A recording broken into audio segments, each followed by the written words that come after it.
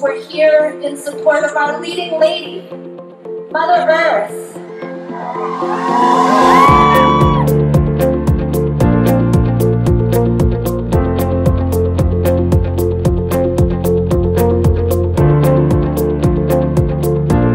Here together with the Albuquerque Climate Coalition that includes groups like 350 New Mexico, New Mexico Interfaith. One of the things that New Mexico uh, chapter of 350 is doing is trying to uh, build the power to pass a clean renewable standard bill in the 2019 legislature. We recently lived 96 days without precipitation.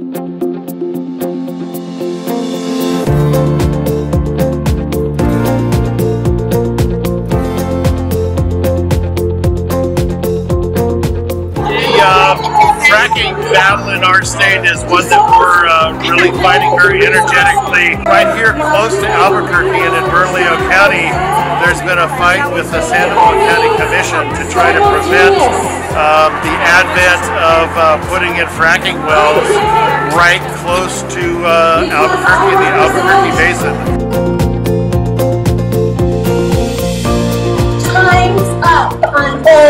Corporate sellout of the cost of our health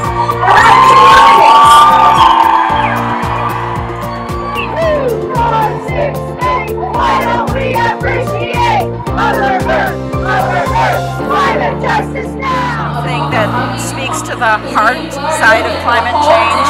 We go to churches and schools and ask people to write on a beautiful ribbon what they love and hope never to lose to climate chaos.